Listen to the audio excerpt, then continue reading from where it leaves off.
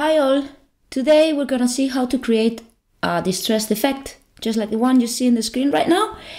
And for this we're gonna be using the draw persona, this is vectors, and we're also gonna be using the bitmap persona. So let's start!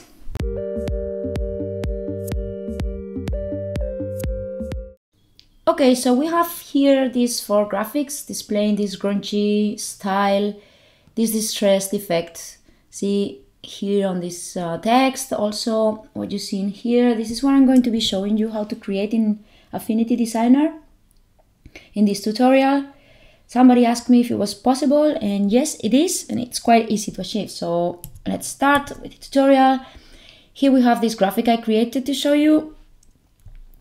And so the first thing you want to do is go on the internet look for a background whatever works for you and start working on a layer on top of it.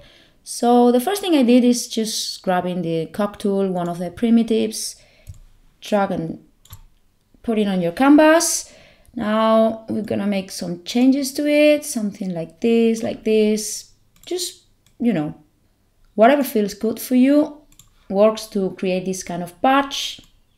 Most important thing here is to learn how to go about the effect. So go ahead, create whatever you prefer. We have these two in here. As you can see, I have activated this, the snapping. So I don't really need to do much in order to position them center. Okay, I'm gonna move them so it looks, you know, cooler.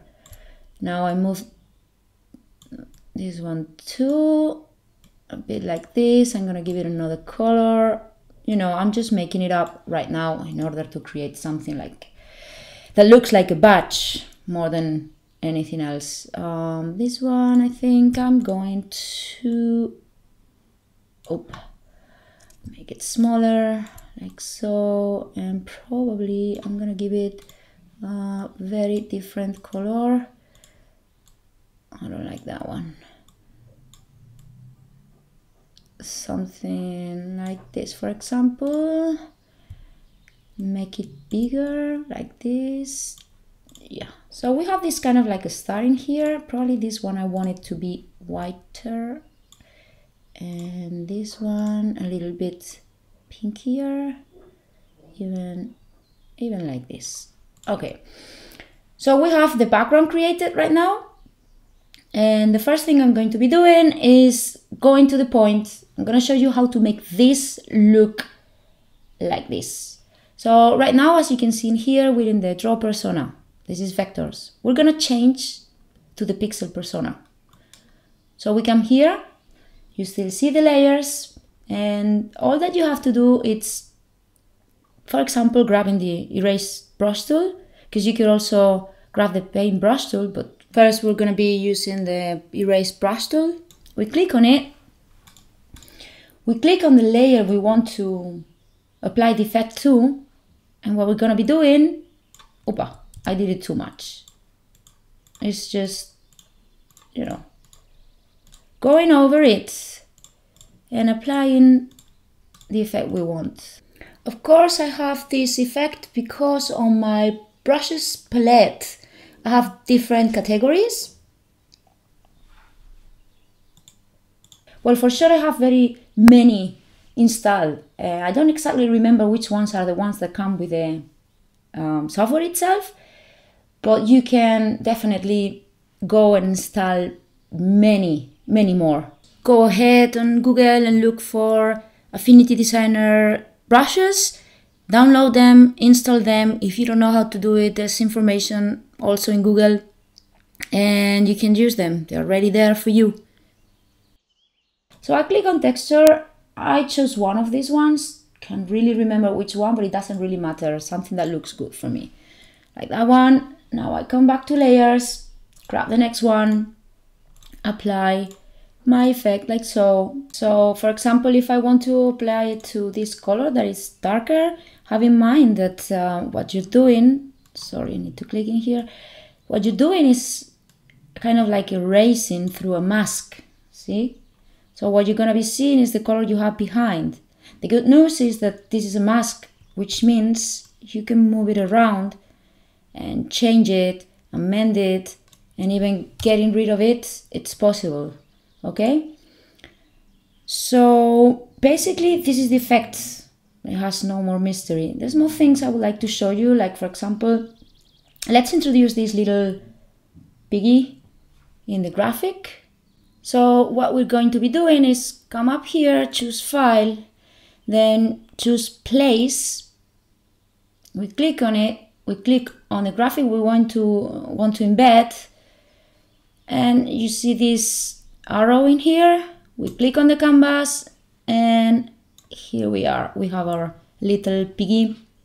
Now there's this interesting thing. You know we are embedding the document uh, within our document. So the cool thing about this is like now I double click on it and it opens in another say file where I'm going to be able to do my changes. Okay so say for example that I want to put like a punky crest.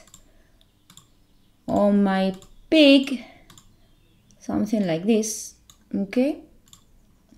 Now I give it a color whatever. Okay. Now I save it command S. Come back to my file and as you can see in here it's been updated. Okay. So sorry I'm going to yeah so we have it here. Okay. Fantastic. Now I'm going to get rid of that hole um, and I want my pig to be white. The thing is I think I'm going to change it again in my embedded document document which is here. I'm going to change the color for it. I'm going to put it white like so. I command S save and I will have it updated here. I don't really like the color I put for the crown so I come back here and make it pinkish like so. I save it again and here we are. Fantastic. So okay this would be it. And again the same thing. We, we are in the pixel persona. I would like to show you now like before we did it with the uh, eraser tool well as you can see in here we can also use the the brush okay? So if it's not painting uh, over it it's just because you cannot really see it is because my opacity was set to 20 but now you're gonna be able to see it better. So we can add some stuff in here make it look cool like so. Obviously we are creating a mask so I'm not painting outside uh, of the pork itself okay? One last thing about this effect is that if we apply it on um, text it's gonna work exactly the same you don't need to transform it into curves or anything. I'm gonna get rid of this now. So you don't need to really do nothing to the text. It's just gonna be exactly the same procedure. You come here to bit, uh, bit pixel persona, grab your eraser or your brush and apply your effect on top of it. It's gonna create this mask and it will work exactly for text as it works for shapes. Okay, so here you have a way to create this distressed effect for your graphics. We saw it combining the draw persona and the pixel persona using either the paintbrush tool or the erase brush tool. It's super easy and I hope you give it a go. So now as always, thank you very much for watching. Uh, leave your comments, questions, whatever you want and subscribe if you still didn't. Okay? bye bye.